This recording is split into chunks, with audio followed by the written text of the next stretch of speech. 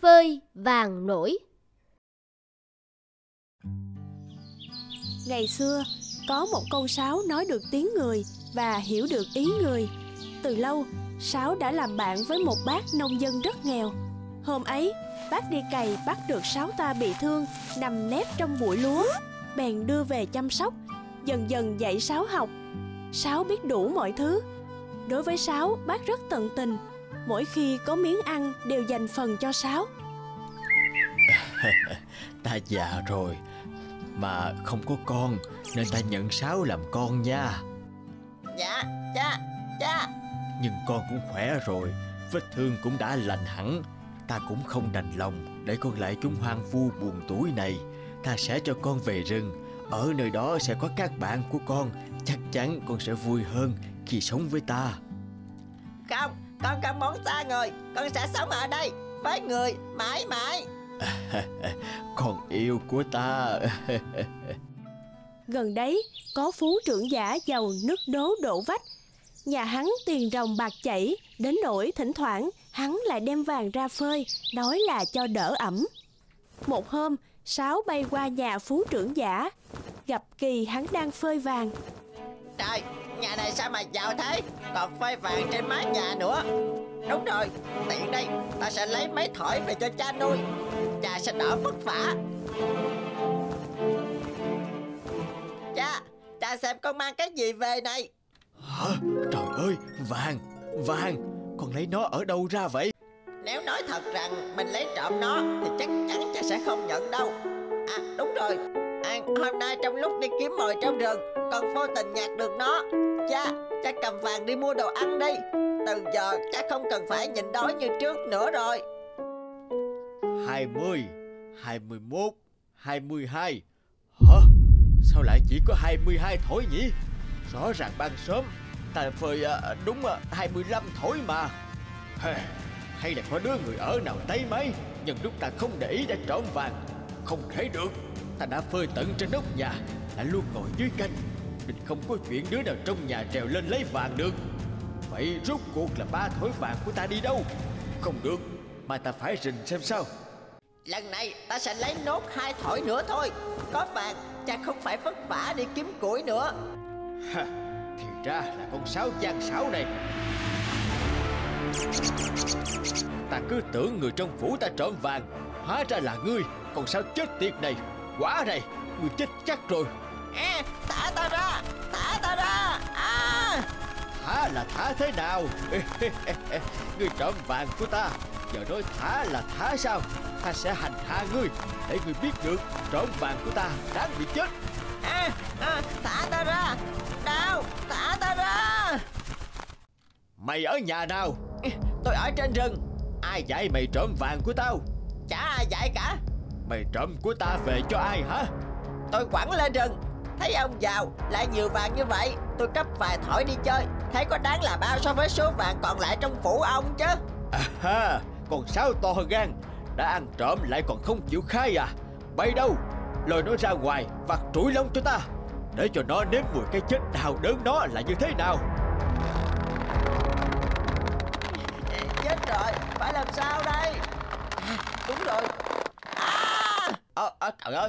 À, Thế mà đã chết rồi sao Chết rồi thì mang ra ngoài bụi tre mà vứt Đừng để ta nhìn thấy mặt nó nữa. Ôi à, Đau quá. À.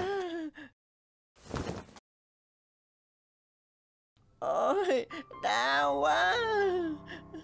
Lần sau còn nhớ tránh xa phú ông trưởng giả ấy ra nha. Ở cái vùng này Ông ấy nổi tiếng là kẻ tham lam độc ác. Ai ai cũng căm ghét. Nhưng à, vì là dòng dõi con quan Nên không ai dám động vào. Nếu con có mệnh hệ nào Ta biết sống sao đây?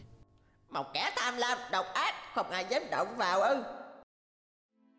Một tháng sau Ở một ngôi đình đã lâu đời của làng Bỗng xảy ra một việc rất lạ. Ờ có chuyện gì vậy? Ở ngôi đình kia có tiếng gì xì xầm lạ lắm. À, Dạ bấm các vị thần linh Dân làng chúng con bấy lâu nay chểnh mãn Không tới thăm các vị thường xuyên được. Mong các vị lượng thứ Tha tội cho chúng con.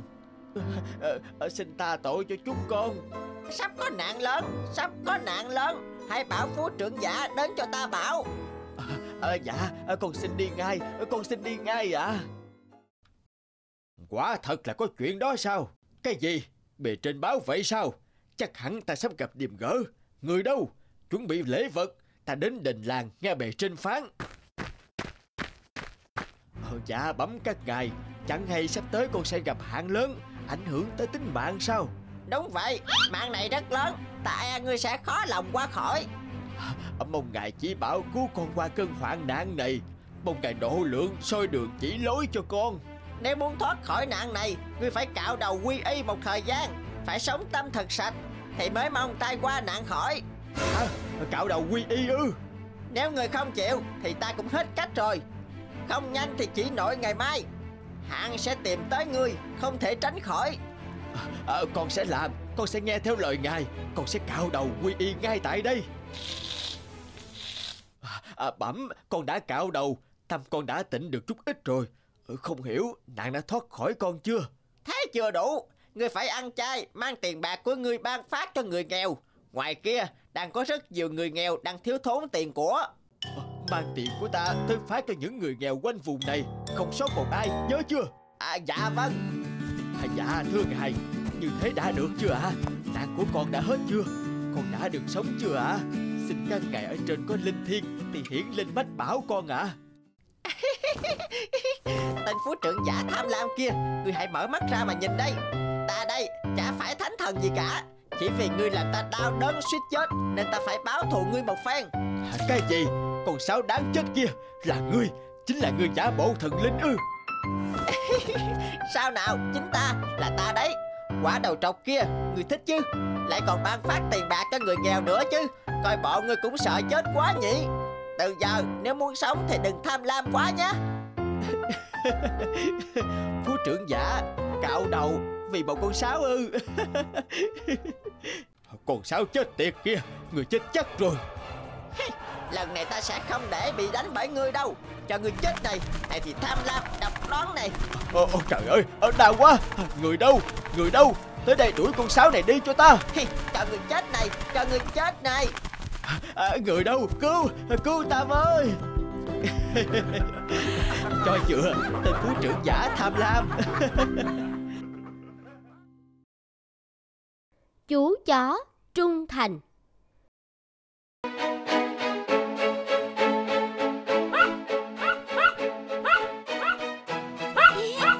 Nào, Vịnh giỏi lắm. Dũng, em có thể bảo con cúng ngừng sủa không? Ồn ào quá, chị còn phải học bài. Chị xuống chơi đi, con Vịnh đáng yêu lắm mà. Mẹ mới mua nó cho em đấy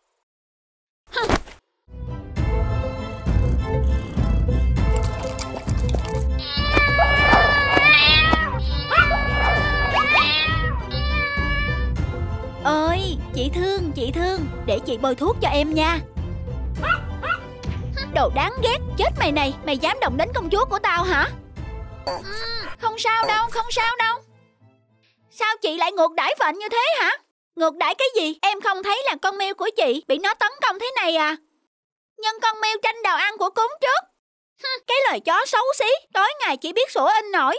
Đến mà ghê. Không hiểu sao mẹ và em lại thích chúng. Chị đừng nghĩ xấu về chúng như thế Chó là loài động vật rất trung thành. Và sống tình cảm nữa Chị thử làm bạn với vện xem. Hứ, không thèm.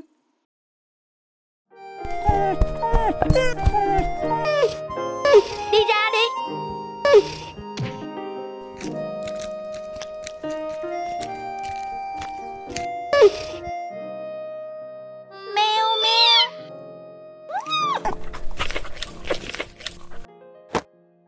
Khác đồ xấu xí Bẩn thỉu.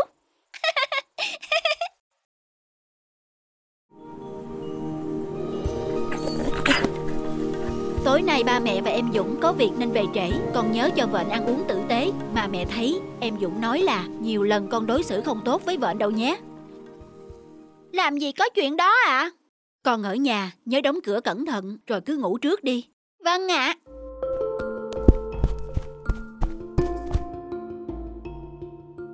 Mày đừng hòng ra ngoài làm phiền tao nha.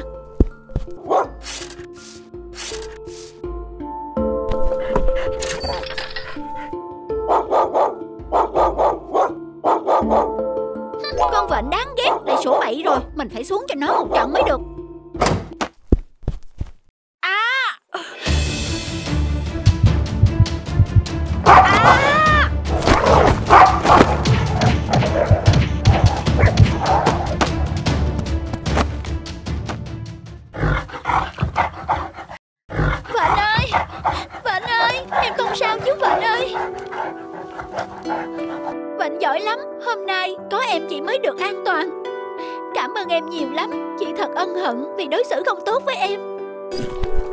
Đi.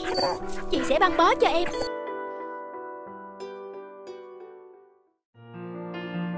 Sự tích cây khoai lang.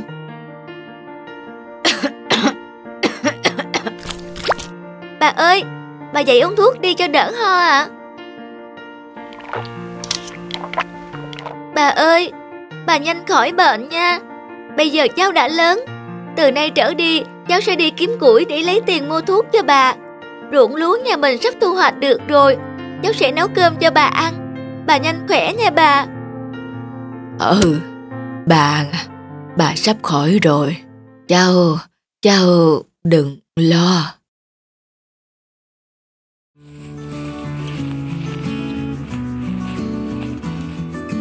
Thế là bà sắp được ăn cơm trắng Không còn phải ăn củ mài nữa rồi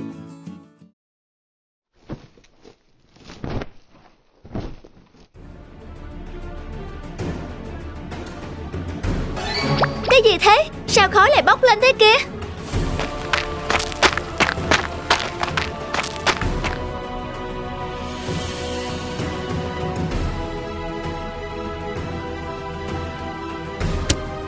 Trời ơi, ruộng lúa của mình đã cháy thành tro. Biết lấy gì cho bà ăn bây giờ?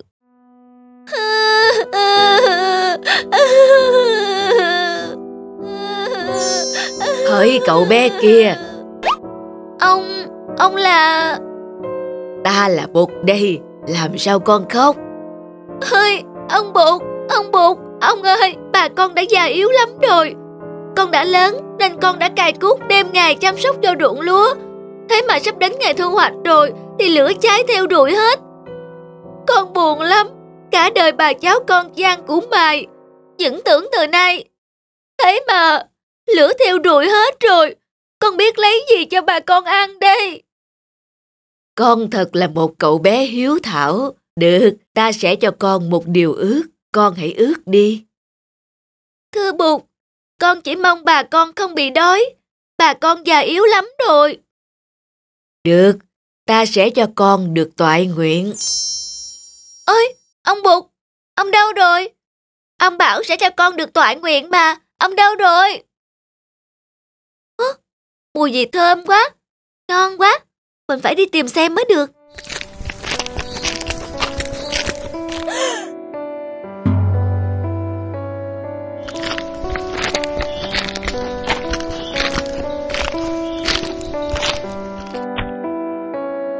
Đây là củ gì mà thơm vậy? Thơm quá, củ này chắc ăn được. Ôi, thơm quá, ngon quá. Mình chưa bao giờ được ăn củ gì ngon thế này. Chắc ở dưới và xung quanh vẫn còn nhiều lắm. Mình phải tìm, mang về cho bà ăn mới được. Thế là bà mình không phải nhịn đói rồi. Đây là cây gì nhỉ? Sao nhìn lạ vậy? À, thì ra là cây này, nhất định là nó rồi. Mình phải mang cây này về trồng mới được. Bà ơi, bà ơi! Bà ơi, cháu vừa nhìn thấy một loại củ rất thơm ngon. Bà ăn đi cho khỏe. Vậy hả cháu? Bà ăn đi ạ.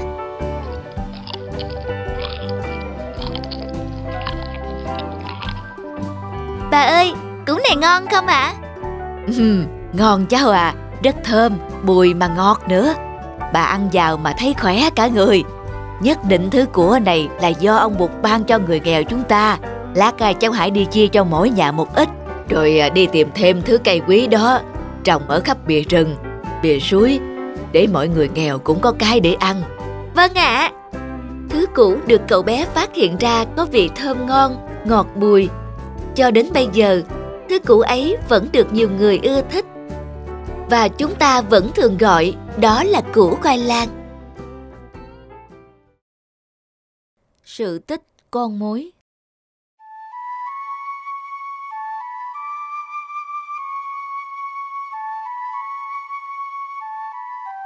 Xưa ở vùng nọ, có một chàng trai con nhà giàu đã đến tuổi cưới vợ.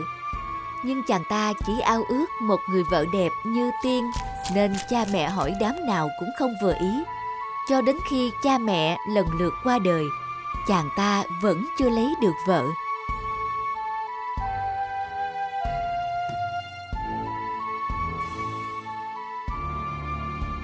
Bẩm Ngọc Hoàng, dưới hạ giới có trường hợp một chàng trai đến tuổi lấy vợ mà anh ta kén chọn từ khi cha mẹ còn sống. Đến giờ cha mẹ đã mất cả mà vẫn chưa tìm được cô vợ ưng ý. Đâu, đưa ta xem. Con hãy lại đây. Dạ vâng.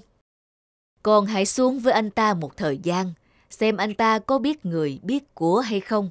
Nếu anh ta không thấy được cái đẹp chính đáng, thì hãy cho anh ta một bài học. Con xin tuân mệnh.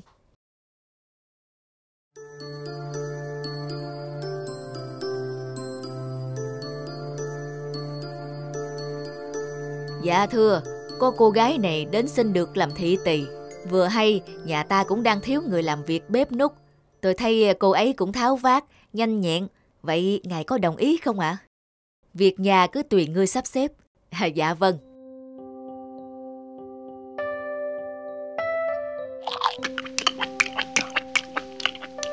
Ngon lắm, cô nấu ăn ngon lắm. Từ nay việc bếp nút nhất định phải là cô nấu cho ta ăn. Dạ vâng. Cô ấy thật khéo léo, lại còn tháo vát nữa. Giá như cậu chủ...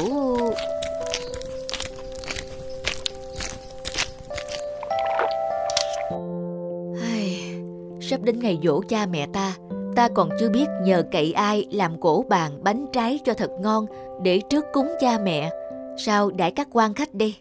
Dạ, để tôi làm việc đó. Thật à, nhưng cổ bàn rất lớn. Liệu cô có lo được hết? Vâng, tôi hứa sẽ cố gắng chu toàn công việc đó cho ngài. Vậy thì tốt rồi, mọi việc ta nhờ cô. Dạ.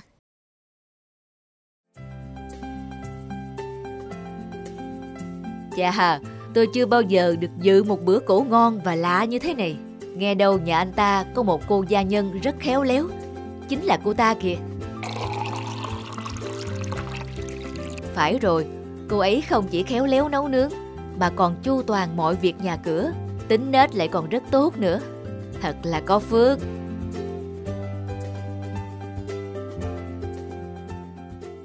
Nhưng mà nhan sắc cô ta tầm thường quá. Chúc cậu chủ tìm được một người vợ đẹp như ý muốn. Người cứ chăm sóc nhà cửa cho tốt Và đợi tin vui của ta. Ôi, là là cô đấy ư? Cô ấy thật xinh đẹp.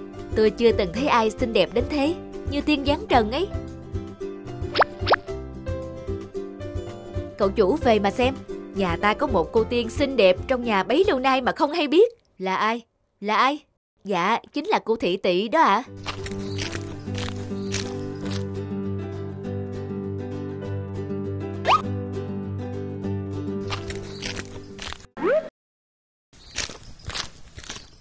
Thật có mắt mà như mù, tuyệt thế giai nhân ở trong nhà bấy lâu mà không hay biết gì.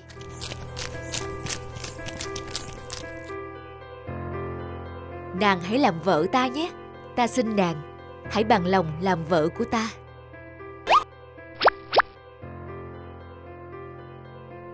Ta vốn là tiên nữ, được Ngọc Hoàng phái xuống, nhưng nay đã hết hạn ở Trần gian phải trở về thượng giới Giá như chàng nhận ra sớm thì đã không... Không, không, không. Một bài học thích đáng cho chàng trai. Ngọc Hoàng đã biến chàng thành con mối, luôn luôn chắc lưỡi tiếc nuối vì bao nhiêu ngày ở với tiên nữ mà không biết hưởng. Cô bé lọ lem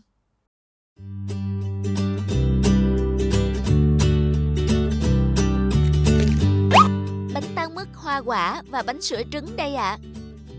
À. Anastasia, Rizela, ăn nhanh lên. Chúng ta còn phải chuẩn bị cho buổi dạ vũ do Hoàng thượng tổ chức nữa. Chuẩn bị gì hả mẹ? Hoàng thượng cho mời tất cả các thiếu nữ đến dự buổi dạ vũ ở Hoàng cung để chọn vợ tương lai cho hoàng tử đấy các con à. Nếu thế, con sẽ có cơ hội trở thành vợ của hoàng tử. Con, con cũng có thể tham dự tiệc phải không mẹ? Con hả? Ồ không, lọ lem yêu quý. Thử nhìn lại mình đi con. Con chỉ thuộc về xó bếp mà thôi. Mẹ ơi, chúng ta cũng nên cho lọ lem một cơ hội chứ. Phải rồi, chỉ cần con làm xong hết các việc thì con có thể đi cùng chúng ta cưng à. Chị Anastasia, em đã hút rơ bếp sạch sẽ rồi ạ. À? Vậy thì đi lao cầu thang đi, từ hôm qua chưa lao đâu đấy. Thưa mẹ, con đã xong việc rồi ạ. À? Chưa đâu, mau giật hết khăn trải bàn đi, bụi lắm rồi đấy. Đến giờ rồi, đi thôi các cô gái xinh đẹp của mẹ. Khoan đã, đợi con với. Nhìn mình lúc này thật xấu xí bẩn thỉu Có lẽ mình sinh ra chỉ để ở trong xó bếp mà thôi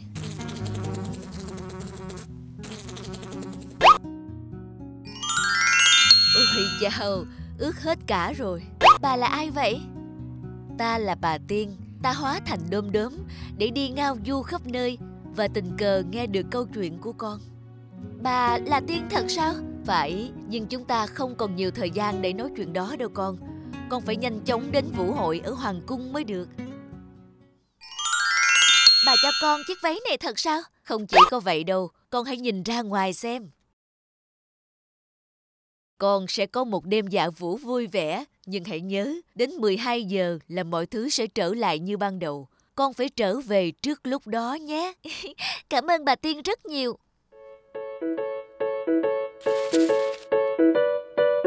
Hoàng tử, người không thể bỏ đi như vậy được. Người cứ để mặt ta. Ta đã chán ngán việc ngày nào cũng gặp gỡ những cô nương không quen biết và cứ phải nói chuyện vô vị với họ rồi. Nhưng nếu người bỏ đi như vậy, hoàng thượng sẽ trách tội thân mất. Có gì ta sẽ chịu trách nhiệm, ngươi không phải lo. Sao cô gái này lại ở đây? Không biết mình đang ở đâu nữa. Xin chào, có phải cô đang bị lạc không? Chào anh, đúng là tôi đang bị lạc, anh có biết đây là đâu không? Đây là khu vườn của Hoàng Cung, có phải cô đến dự tiệc dạ vũ của Hoàng tử không? Vâng, đúng vậy, xin hỏi anh là... Tôi là tùy tùng của Hoàng tử, để tôi dẫn cô đi. Cô có muốn trở thành vợ của Hoàng tử không? Tôi không biết Hoàng tử là người như thế nào, nên không chắc lắm. hoàng tử là người rất thông minh, rất đẹp trai và tốt bụng nữa. Nếu hoàng tử hoàng mỹ như thế thì tôi không với tới đâu. Vì tôi chỉ là một cô gái suốt ngày ở trong xó bếp, đến nỗi mọi người quên mất tên tôi mà chỉ gọi tôi là Lọ Lem thôi. Lọ Lem, cái tên này hay đấy. Nào, Lọ Lem, giờ cô có muốn thử khiêu vũ với tôi không? Rất hân hạnh. Sắp 12 giờ rồi, tôi phải về đây. Khoan đã, để tôi đưa cô về. Tôi về một mình được rồi. Hôm nay dù không được dự vũ hội, nhưng tôi rất vui khi được nói chuyện với anh. Khoan đã. Mất công đến tận đây mà có gặp được hoàng tử nào đâu. Thôi chúng ta về nhà trút giận lên con bé lọ lem cho bỏ ghét. Nghe nói nhà vua vừa ra chiếu sẽ hỏi cưới cho hoàng tử cô gái nào đi vừa chiếc giày pha lê đấy. Đó chẳng phải là chiếc giày của mình sao? Giày bé thế này thì làm sao mà đi được? Tôi có thể thử được không ạ? À? Mời cô. nực cười, con bé này cũng đòi thử giày cơ đấy. Sao có thể như vậy được? Cuối cùng ta đã tìm được nàng rồi, lọ lem. Người là... Ta chính là hoàng tử, người đã gặp nàng trong khu vườn hôm đó.